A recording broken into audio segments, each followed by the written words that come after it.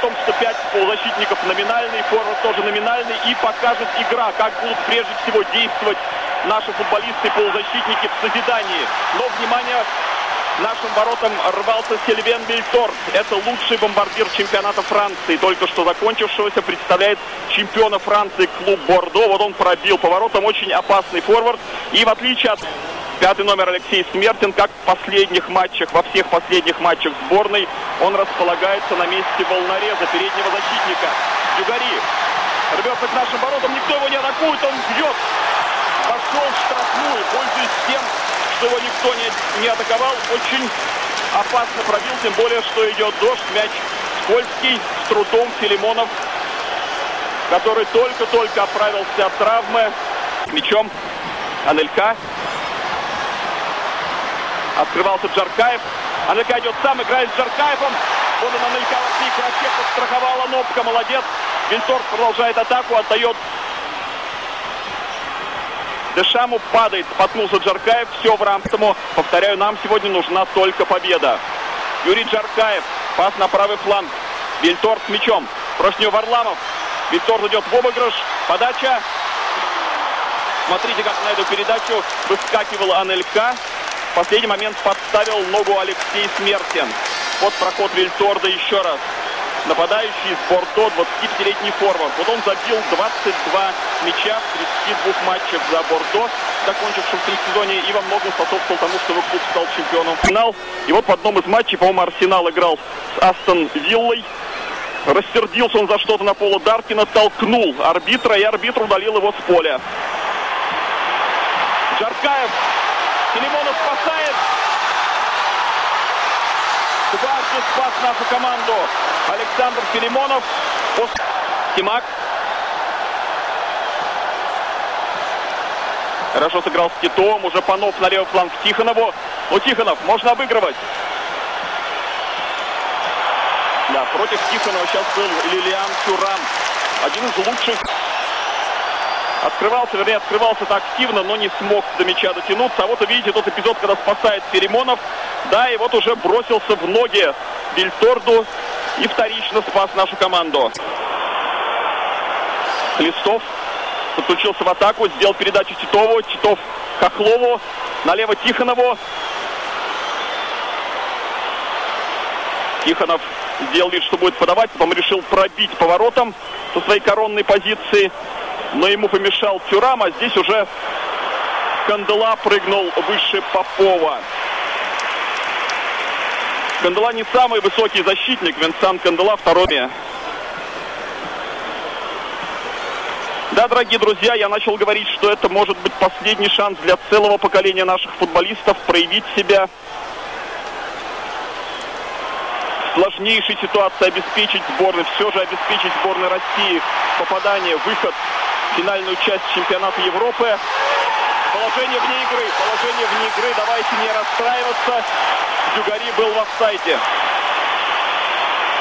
Хотя это первый звоночек. Вот видите, еще раз повтор этого момента. Да, конечно, конечно, совершенно очевидный офсайд. Не зря Кристоф Дюгари предъявляет претензии английскому. Фабьен Бартес.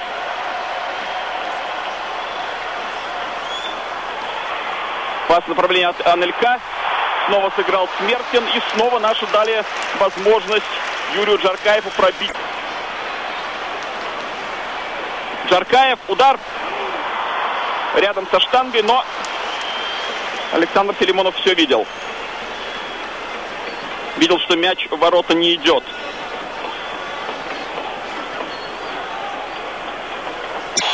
Не хотел даже пытаться. Падает там Анопка. Показалось, что его придержал за руку Тюрам. Или это просто скользкий газон. Хорошо на грудь принял мяч Панов.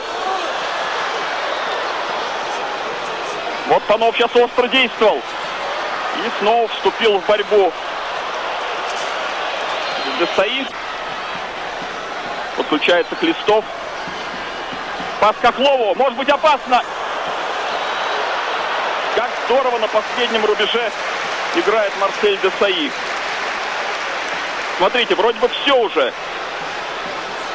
С мячом Хохлов. Хохлов уже смотрит на ворота Бартеза и в этот момент... Анелька. Длинная передача. Все-таки мяч до Анелька дошел, но уже после паса Джаркаева. Наш отобрали. Может быть контратака. Титов получил мяч от Карпина. Вот пока более-менее ничего эта связка действует. Хохлов. Карпин. Титов опасный момент. Прострел. Гол. И мяч летает в ворота сборной Франции. Вот это неожиданно. Пожалуй, первая острая атака нашей сборной. Хороший перевод мяча на открывшегося Александра Панова и 1-0. Александр Панов. Сборная России выигрывает на Стадо Франц у чемпионов мира. И мы смотрим повтор этой комбинации. Я только что отметил хорошее взаимодействие Карпина и Титова. И в падении, распластавшись в вратарской площадке, Барсеза Панов направляет мяч в сетку. А если бы не этот гол, был бы 11-метровый. Все дело в том, что Венсан Канделя совершенно очевидно изменил направление мяча. Падая, он сыграл рукой. Но это сейчас нас мало волнует. 1-0. Ни Ширко, ни Юрану в запасе Владимир Бесчастных. И вот снова еще один шанс у Панова. Ах, если бы техника не подвела в этом эпизоде. Если бы он сыграл сейчас так, как сыграл, забивает два мяча ворота московского «Динамо» в финале Кубка России. Титов хорошо увидел Хохлова. Хохлов отбрасывает мяч назад Карпину. Здесь один открыт совершенно Титов, а слева Тихонов. И Тихонов бьет. Попытался с лету пробить в ближний угол. Вот хороший сейчас навес Карпина. Вы знаете, дорогие друзья, Валерий Карпин в интервью сегодня, в интервью газетки «Экип» сказал буквально следующее. Иностранцы воротам такая игра чревата множеством офсайдов. Ой, внимание!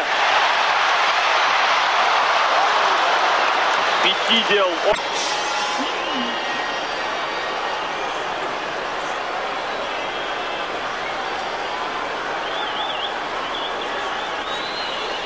Да, Валерий Карпин. Валерий. Еще раз добрый вечер, дорогие друзья. Общественное российское телевидение продолжает прямой репортаж из Франции. Мы с вами на арене Стад де Франс, в пригороде Парижа Сен-Дени. Сейчас по французскому времени, по парижскому времени примерно без 10-10.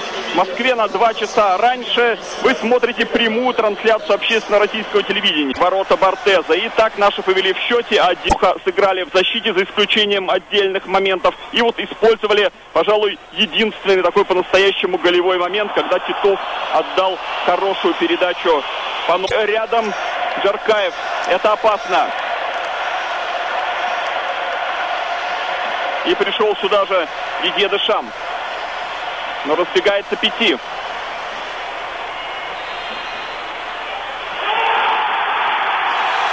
Такой дурацкий гол. Неожиданный рикошет. Филимонов падает в один угол, а мяч влетает в другой. Мы сейчас увидим повтор этого момента. Ну, очень досадно. Очень досадно. Вот видите автор забитого мяча. Эммануэль Пяти. Руже Лемер, тренер сборной Франции на ваших экранах. Ну вот смотрим. Ай, как неудачно выставил ногу из стенки Сергей Симак. И рикошетом от его ноги, ну, естественно, Филимон уже ничего не мог сделать. Смотрим еще раз. Ну, как неловко выставил ногу Сергей Симак. Да, вот так вот, дорогие друзья. Можно сказать, что когда мы забивали мяч в первом тайме, нам тоже помог рикошет. Мяч попал в руку вперед Кандела. Проскочил мимо мяча Вильтор. Эх, так все хорошо, с чистой воды случайность. Досадная оплошность игрока, который стоял в стенке. И тут главное, чтобы наши не расстроились из-за этой нелепости. А тут же еще один штрафной. Удар падает все в тот же угол Филимонов. Его пытался атаковать Лилиан Тюрам. Елимонов достаточно жестко ответил наскочившему. Ушел с поля мостовой. Вместо него вышел Хохлов. Титова. Титов прихрамывает. Хохлов возвращает мяч назад. Что касается линии полузащиты, как я уже сказал, Карпин взял на себя роль лидера в первом тайме после ухода мостового. Но, внимание, проиграл тут позицию Варламов. Вильторг забивает второй мяч в ворота нашей команды. Типичная ошибка наших защитников. Если нам дадут повтор этого момента с самого начала, вы все прекрасно. Вот видите, как проскочил. Где оказался Варламов. На противоходе поймал его Вильторг. Не помог Анопка. И не спас Филимонов. По-моему, мяч между ног проскочил у нашего голкипера. Вот вам и лучший бомбардир чемпионата Франции. Вильторт делает счет 2-1.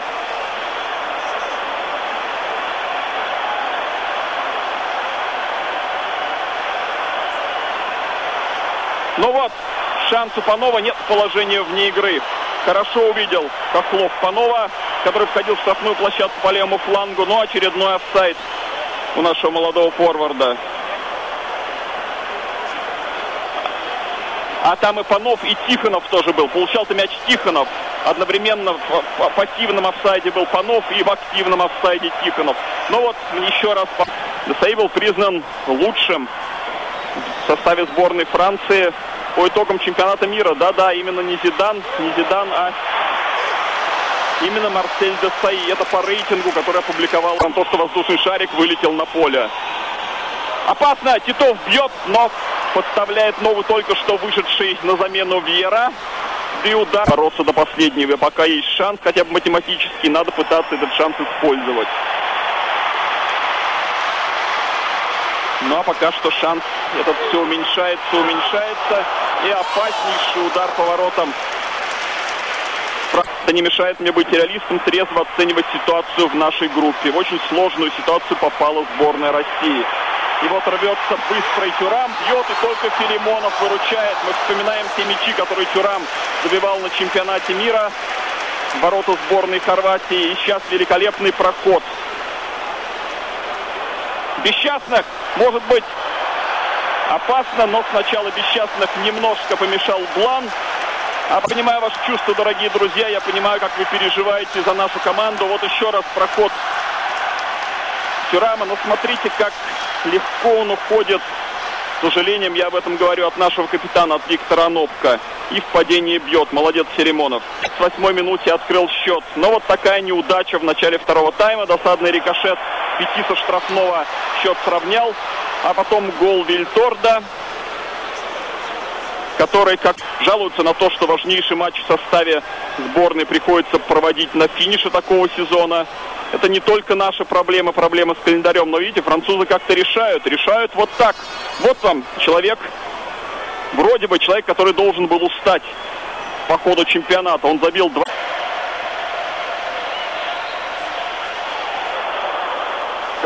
Ох, какой удар сначала пытался пробить поворотом Армении, но прекрасно понимали, что главные матчи впереди. Следующую игру наши проведут уже в среду с командой Исландии. Но если сегодня мы проиграем на стад до Франц, матч с Исландией не будет иметь уже очень большого значения. Но, внимание, нам возвращает надежду. Нам возвращает надежду все тот же Александр Панов. Вы знаете, дорогие друзья, удивительный у нас форвард. Второй момент он получает, вторую возможность в сегодняшнем матче и великолепно ее использует. Счет 2-2. Счет 2-2, который тоже не устраивает нашу команду, и тем не менее мы аплодируем Панову. Вот видите, он опередил опередил Марселя Десаи и точно пробил в девятку, еще и подкрутив мяч в этой непростой ситуации. 2-2.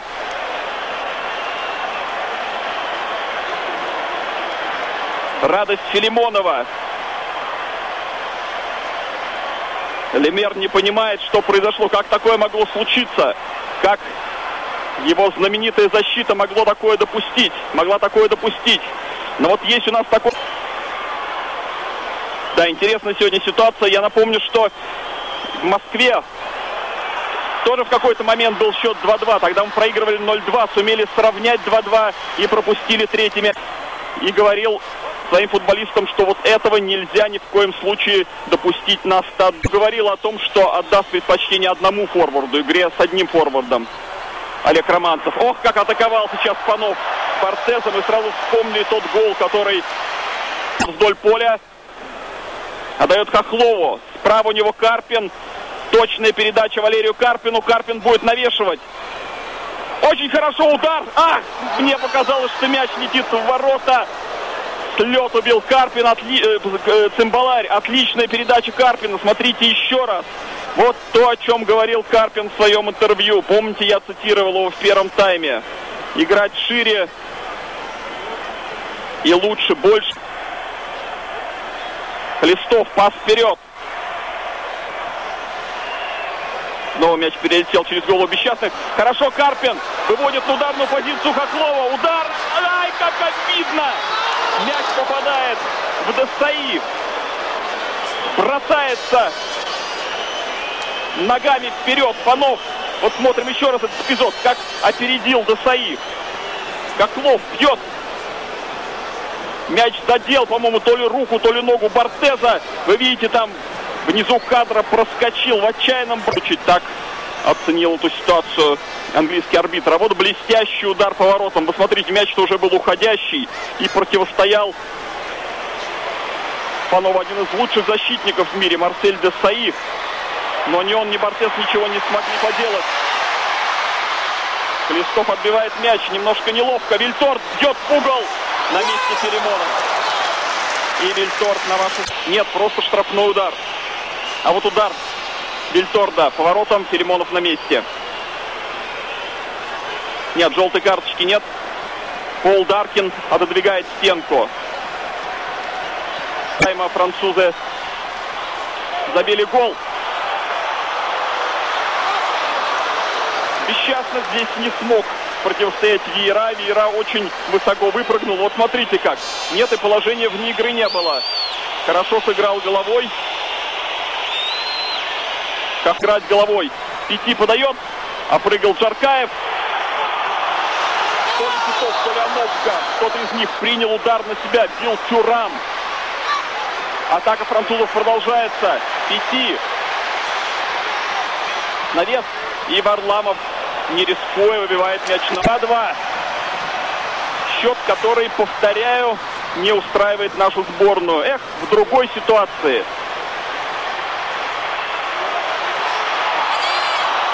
Гера бьет поворотом, но до этого было нарушение чемпионом мира на его переполненном 80-тысячном стадионе сыграть ничью 2-2, забить два мяча.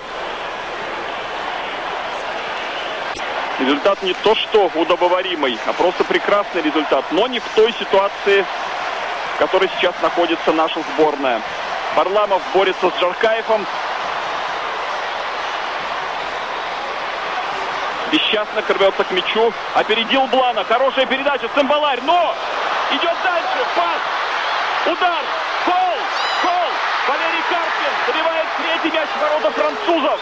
Смотрите, как все здорово сделали наши футболисты. Потеряли бдительность французы.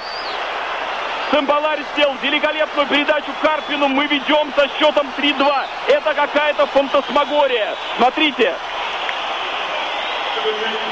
Бесчастных, которого я критиковал, специально критиковал, чтобы не сгладить честное слово. Сделал передачу Цимбаларю. Великолепный пас назад. Вот он опыт. Вот он опыт Ильи Цимбаларя. Я говорил о том, что этот футболист не в лучшей форме, что была серьезная травма. И тем не менее в нужный момент именно Илья Цимбаларь сыграл, вывел на удар Скарпина, и тот уже бил в пустые ворота. Ну точнее, там были два защитника на линии ворот, они ничего не смогли сделать. Да, вот это интрига. Такого матча, дорогие друзья, мы давно с вами не видели. Франц, молодцы наши ребята, несмотря ни на что, на всю критику. А я в основном говорил это потому, что не хотел сглазить наших футболистов. Мы сыграли великолепно. У нас отличная команда, у нас прекрасный